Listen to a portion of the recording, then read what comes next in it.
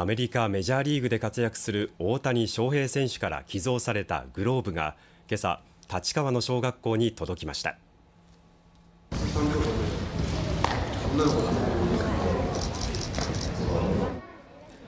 体育館でキャッチボールをする子どもたち。使っているのは大谷選手からプレゼントされた野球のグローブです。大谷選手は先月日本の全小学校に野球のグローブを寄贈することを発表していて立川市内にあるこの小学校には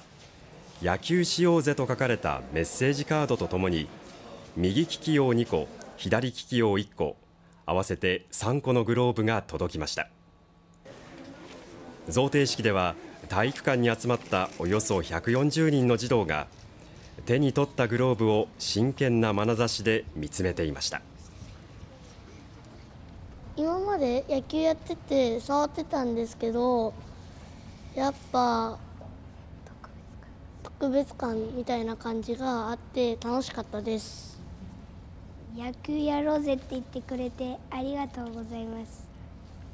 おかげで野球を好きになりました。学校では昼休みに児童が遊ぶ際このグローブを使ってもらう予定だということです